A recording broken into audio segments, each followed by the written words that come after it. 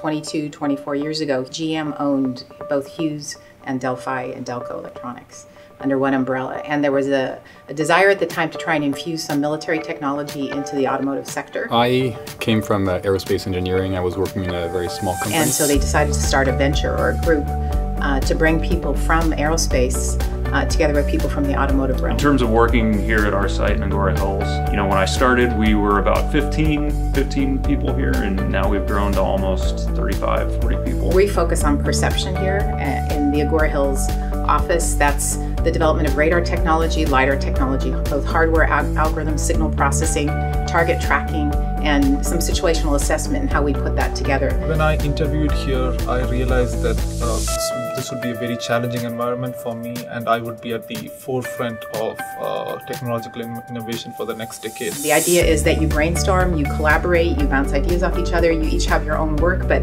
you're doing it together and it's kind of got the feeling of a small startup but also a research lab and a lot of innovation going on. It's a big part of what we do.